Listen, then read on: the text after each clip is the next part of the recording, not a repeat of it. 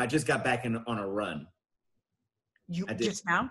Yeah, I did the I did the two miles, two point twenty three, Oh wow. and my heart was so heavy, oh, yeah. just about the the state of our dealings with one another. It, it is. It's really tragic, and I can't believe it's it's still happening, and it is. And I know that you talk to a, a person of color, and they say, "Well, of course it's still happening," but we like to think that ah, that's that w- that we're done with that, but we're not. Hollywood game night host Jane Lynch was incensed by the tragic shooting of Ahmaud.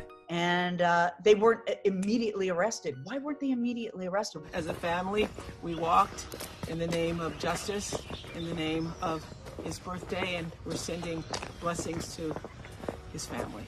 Happy birthday, Ahmaud. Like many, Oprah believes that it's because the public saw the video of Arbery being shot that arrests were made. We love you and we got your back. Chris Tucker and his son also ran in support of Ahmaud, and so did Alicia Keys, husband Swizz Beatz, and their family. And in honor of Ahmaud, we are going to do the we are going to run with Ahmaud.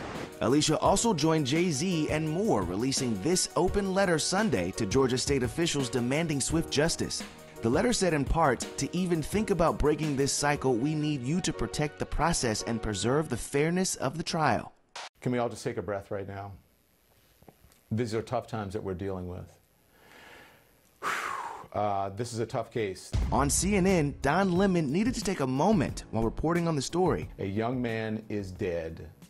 His death was captured on videotape. A mother is grieving, a family is grieving, an entire world is grieving. Civil rights attorney Areva Martin weighs in. Yeah, I think one of the things that's going to be interesting and that we should watch for is to see if the Department of Justice will consider charges against the McMichaels under federal hate crime statutes. And the federal hate crime laws carries uh, both life imprisonment as well as the death penalty. So whether this is prosecuted solely on the basis of state law or if it becomes a federal hate crime law, uh, the potential is there for both life in prison and the death penalty.